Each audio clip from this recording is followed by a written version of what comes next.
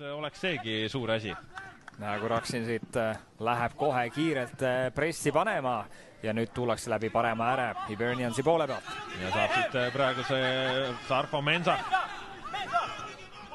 tuleb siit tagasi Jake Reh ja nüüd tuleb see